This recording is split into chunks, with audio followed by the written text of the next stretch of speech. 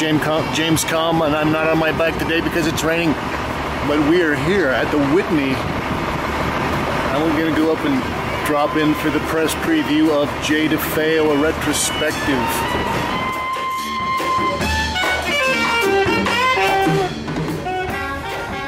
Okay, so we're up here on the fourth floor. And uh, we're going to start out following the show chronologically. Now, I guess Jay DeFeo was born here somewhere in the, the Northeast and uh, moved out to California and was raised out there as a California girl. This is a gallery of her early works on paper. This is Untitled Tempera and Ink on Paper. And I believe this might be one of the earliest pieces of the show. This is 1951.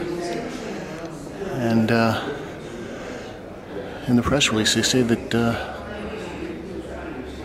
she went to school in uh, Berkeley, I guess, and uh, actually received a traveling scholarship and was able to go to Europe for a year and a half. This is titled Florence, 1952, and I guess she may have done some of these temperas while she was there. This is nice. This is titled Untitled Florence 1952. But uh, up and look at the facture here. You can see that she's got uh, already got the pigments starting to build up in the impasto. Some more of her uh, studies. Now, uh, this is an interesting piece because uh, it's also from Florence. She got a little cruciform in there, and uh, I think that a lot of this work almost has kind of a religious,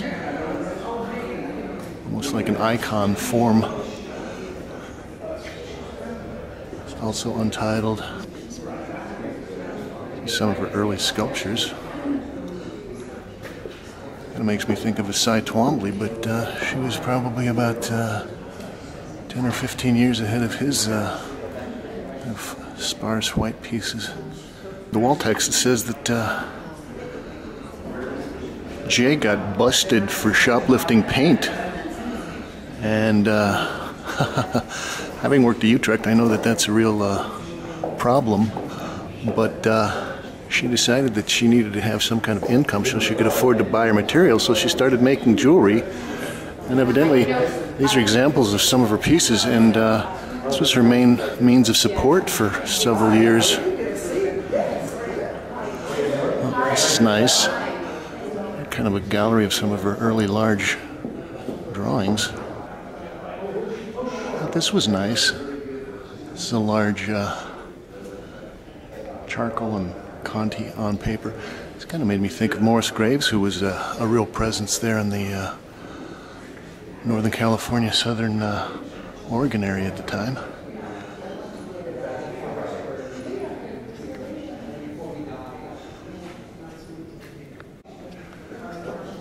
This is an illustrated history of the universe from the mountains. Oil on masonite mounted on board.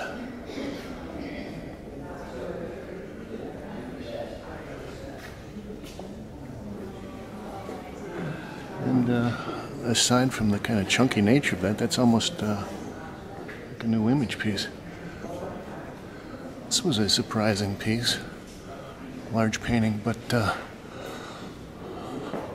a lot of her work is black and white.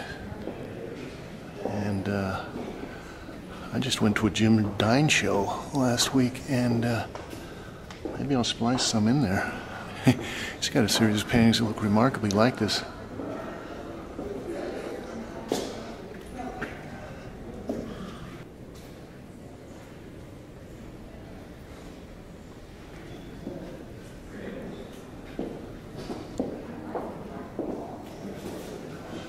Now here are some of her kind of uh, funky collages. It's called Lapland and the Black Fact, 1958.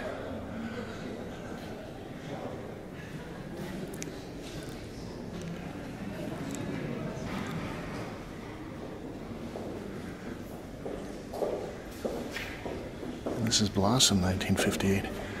Well, I think Jay DeFeo is one of these artists that has so much myth and uh, legend wrapped around her and her milieu. And uh, that's why a show like this is so great because you have a chance to see what all the hubbub is about. This is Untitled from 1957. Now we're going to enter the, uh, I guess what I would call the the main showcase gallery. So these are probably her great mature works. And uh, oh, there's the director, Ed Weinberg, down here in front of her masterpiece, The Rose. When I was 15, I ran away to Haight Ashbury and uh, ended up flopping in a commune that was only a few blocks away from where Jada DeFeo's studio was, where she painted the rose. Years later, going to school at uh, the Art Students League on the GI Bill, this was during the advent of Neo Expressionism. There were a lot of people like Schnabel and Kiefer and, and even Basquiat that were doing these huge paintings with all kinds of stuff thrown into them and sticking out of them. But uh, the legend of Jay DeFeo's painting sort of hung over all this, some kind of grand fantasy. And when I heard that uh, it was held behind a wall at the San Francisco Art Institute, that even increased the mystery. So about uh, 20 years later, Elisa Phillips curated a show called uh, Beat America somewhere in 1997, 98. And uh, at that point, they had gone out and got the piece and they'd restored it. And when I initially saw this piece after my first rush, I was kind of disappointed but uh, the more I thought about it, the more I looked at it, the more I've seen it over the years, I've uh, kind of thought about Dave Hickey's terms, his saying that uh, sometimes unmet expectations are just as important as met expectations. And the more I look at this, the more I kind of admire what uh, Jay had done with the restraint and uh, just making a statement about painting as a language.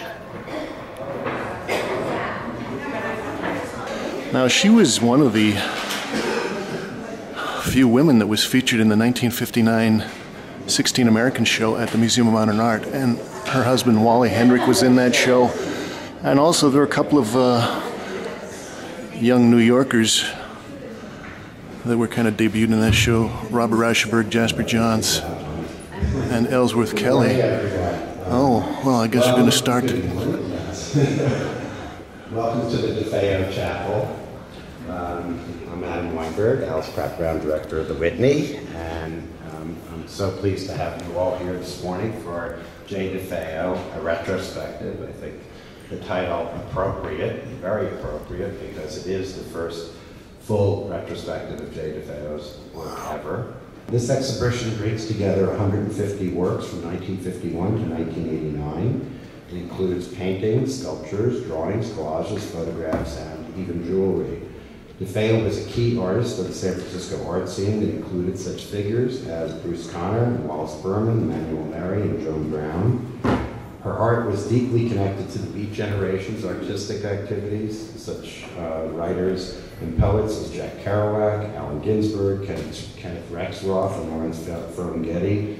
In fact, at the Six Gallery, where um, DeFeo's work was exhibited in the 1950s, um, Ginsberg presented his first um, reading of Howl in October of 1955. Um, perhaps she was mostly overlooked because of the legend of Jay DeFeo. In a way, The Rose, which is an extraordinary piece, um, she needed to be rescued from the myth of the rose, in a sense. Um, the Rose was created uh, between 1958 and 1966, and during that period she worked almost exclusively on the painting. And she layered and layered and layered and chiseled and chiseled and chiseled and scraped and scraped and scraped and began again and again. The massive painting was already celebrated within art circles when the movers came in 1965 with a forklift to extract it through the wall of DeFeo's studio. And although DeFeo has been primarily identified with the Rose, her career, as you can all see, I think for the first time, is much more than this one great singular painting. As DeFeo wrote in 1959, only by chancing the ridiculous can I hope for the sublime. Only by discovering that which is true within myself can I hope to be understood by others. The Whitney has championed DeFeo's art for the past 20 years, and we're very proud to possess the largest collection of Jay DeFeo's work of any institution. We saved the rose, I would say collectively we saved the rose, um, from oblivion in the 1990s, with crucial aid from the DeFeo Trust and from the Judith Rothschild Foundation. And it was former Whitney curator Lisa Phillips, who is now the director of the New Museum, who did her amazing exhibition um, uh, that was called Beat Culture of the New America, 1950-1965. And Lisa was um, one of the people most responsible for rescuing this piece, both literally and historically. Jay DeFeo set a fiercely independent course and created an astoundingly diverse body of work. Her art from the early 1950s established a set of visual concerns, and Adam and I did not compare notes before, so a couple of these things are uh, repeated. Um, a set of visual concerns that can be traced across her career. A primarily geometric vocabulary, the presence of essential form or imagery, and attention to surface texture, and groupings of works that explore varying expressions of a seminal idea. Her early work was frequently three-dimensional, including the delicate metal sculptures and jewelry pieces, which are in the cases in the first room. In 1954, DeFeo married fellow artist Wally Hedrick, and the following year they settled into a flat with studio space at 2322 Fillmore Street in San Francisco. The building was inhabited by a rotating cast of fellow artists, poets, and musicians, and it would be a hotbed of creative activity in the city for the next decade. In the mid to late 1950s, DeFeo made a group of enthrallingly large-scale works using a palette knife to apply layer upon layer of paint. These are the works that are surrounding you right now. The highly textured surfaces would become a hallmark of her oil paintings and would culminate in the creation of works such as the jewel, the red one right over there, and the rose, and certainly incision as well. The rose occupied DeFeo almost exclusively for nearly eight years, and when she finished the work, it is estimated to have weighed more than 1,500 pounds. And I say estimated, you'll see a number of figures out there um, for the weight of the rose uh, back in 1966 or the weight of it now. No, nobody truly knows. We're all just guessing. We think it was about a ton at the time and probably close to 3,000 pounds now with the addition of a metal frame and brace in the back, um, but it's never actually been weighed. Um, the work was exhibited publicly only twice during DeFeo's lifetime, both times in 1969, um, and I should say in both of those cases it was against a black wall, which is what DeFeo approved of. The rose was then brought to the San Francisco Art Institute, where it was installed in a conference room. In 1974, when it became apparent that the rose was in need of conservation, a plaster coating was applied to the surface of the painting in what was meant to be a temporary conservation effort. So it was obscured from view from that point in 1974. And a series of complications, including financial complications, meant that that later conservation never occurred. And with no further progress, five years later, a false wall was built in front of the plaster-covered painting, obscuring it for the next 16 years. So the work was um, unavailable from 1974 to 1995, 21 years. In the spring of 1988, DeFeo went to the doctor with a cough and was diagnosed with lung cancer.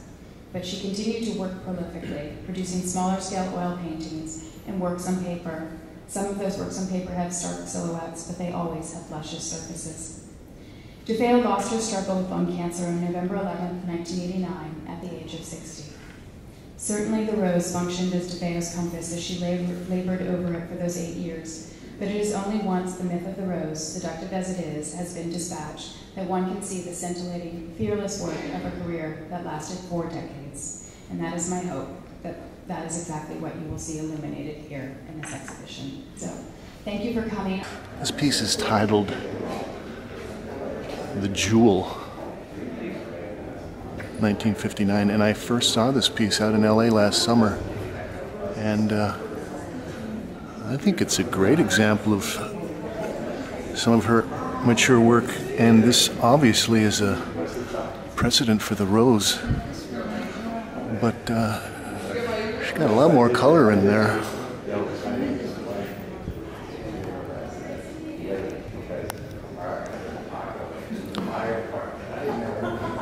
Another uh, kind of an eye opener.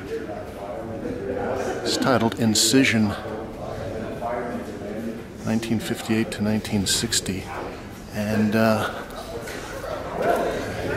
see if we can see the strings and things she's got hanging out of there. And uh, I don't know, this is almost like draping jewelry on something, so maybe uh, there was a feedback between the, uh, the jewelry making and how she was thinking about her, her paintings.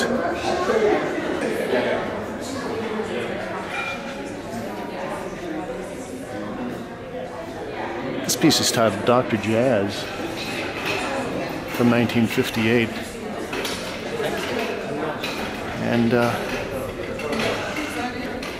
well, you can see that she's also got a lot of scribbling, drawing in there with like graphite pencils. And uh, I like this up at the top. It's almost like bare canvas. And uh, it's like a gravitational force dragging down all the all the gestural brushstroke and paint. Oh, this is a very impressive piece. Uh, this piece is titled Origin, and uh, during the introduction by the curators, uh, they talked about how Jay was very much kind of involved in almost a spiritual quest, and it's kind of typical of, you know, the proto hipster or proto hippie sense in San Francisco, the kind of seeking some kind of spiritual transcendence.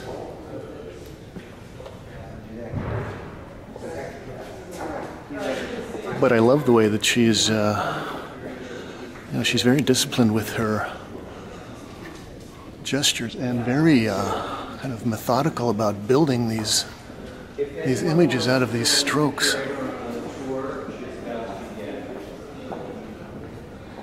This is a great painting.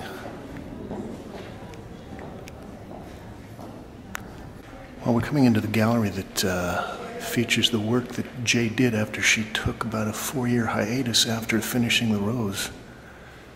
And uh, I think she might have moved out of San Francisco and uh, kind of gave up oil painting. And at that point, she took up a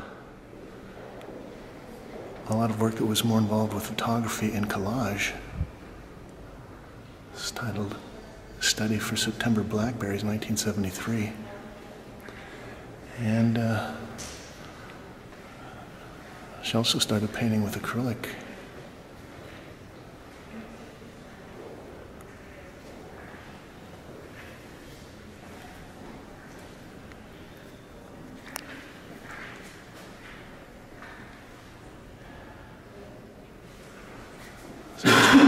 these pieces are titled Crescent Bridge. And uh, almost like the subtlety of her modeling.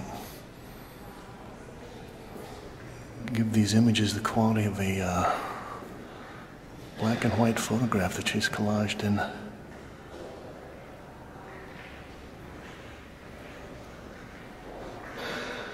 I like this photo, untitled Armut's Cast, 1973. This is titled Cabbage Rose.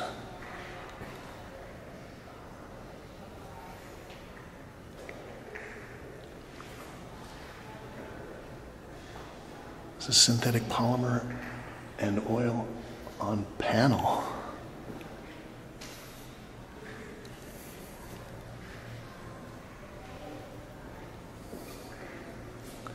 Nineteen seventy three.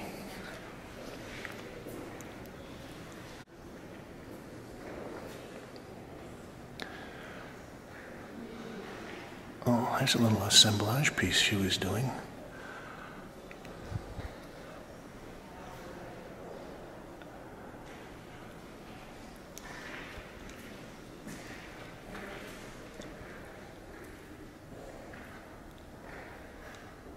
This is a gallery that is dedicated to her photography.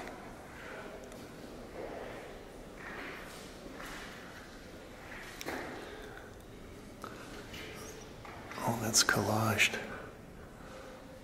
Untitled 1973.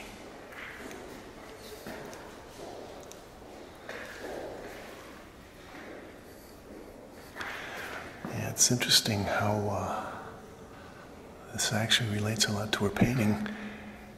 Even the kind of uh, glossy surface that you get on the emulsion on these prints. Well, these are some rather odd pieces. It looks like she's uh, playing around with the chemicals and the developers and stuff. Kind of makes me think of some of uh, Man Ray's experimental photography. Oh, that's nice. Untitled Salvador Dali's birthday party, 1973. And I've got a nice uh, selection of her drawings. I mean, she was a very good draftsman, and uh, she almost has a uh, an illustrator's precision. And I think that a lot of this was uh, based on some of the photographs that she was taking. This is interesting. So we've got photographs of camera tripods. And these very detailed drawings are more studies of the tripods.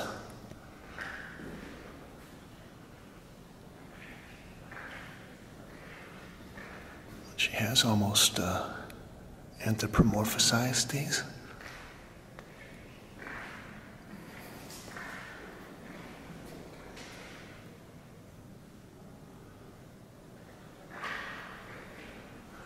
Somewhere between uh, photorealism, surrealism, and uh, precisionism.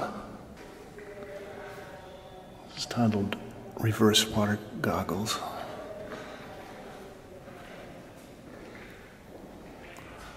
More water goggles.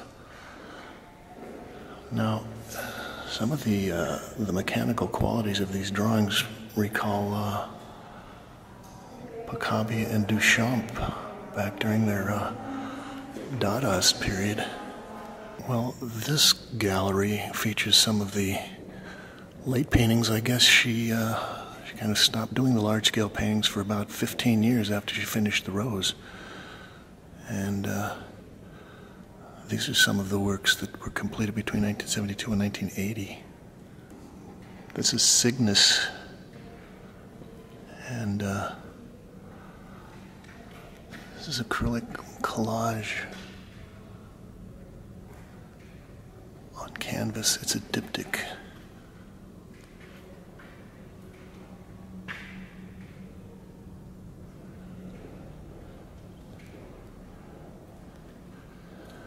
Uh, she's getting much more precise in some of these later pieces, getting more geometric.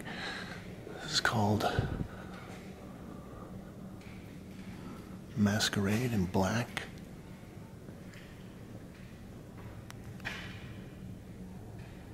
Synthetic polymer and mixed media on masonite.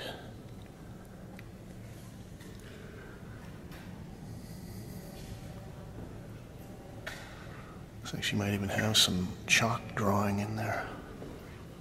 It's a nice little splash.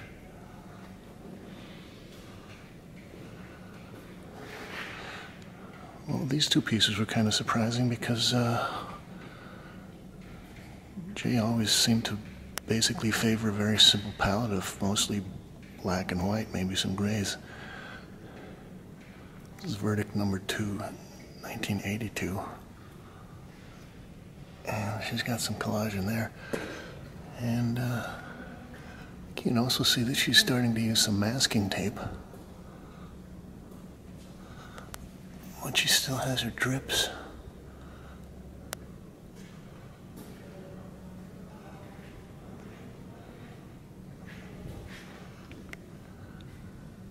You know, the other way, the other thing is that uh, the way she's kind of centered her images on these monochrome grounds is kind of uh, relates to no image painting. It's titled Verdict, 1982. And I would say that's probably about uh, eight by six feet.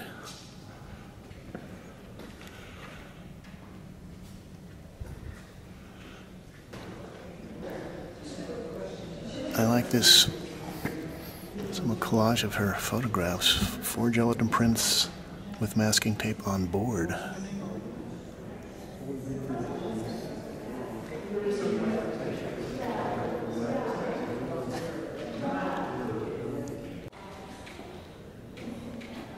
Well, I guess these are the last large scale paintings that she did before she got sick. These are from the late 80s. Black Nile.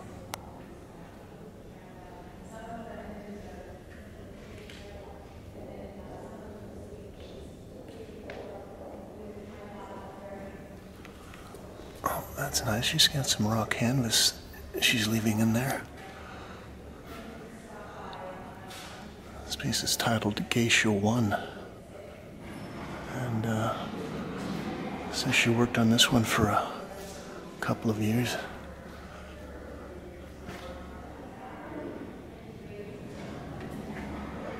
So it's interesting the way she's uh, she's playing off this very kind of formalist precision with the kind of the underlying drippy, mushy expressionism. So these are the late pieces, I guess, from the last year of her life, 1989. That's nice. Pink cup by day.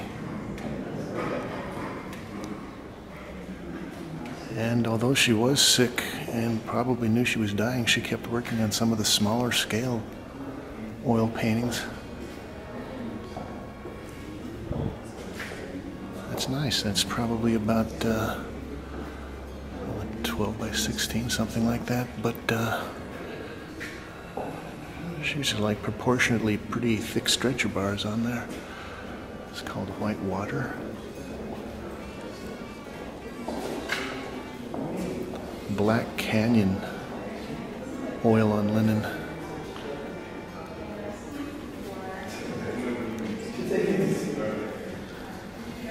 Home with a view. Down one.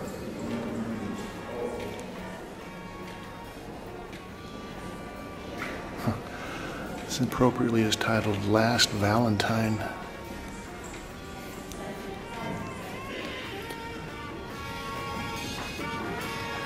This is uh, James Kalm reporting on Jay DeFeo, a retrospective here at the Whitney Museum of American Art. Thank you, Kate.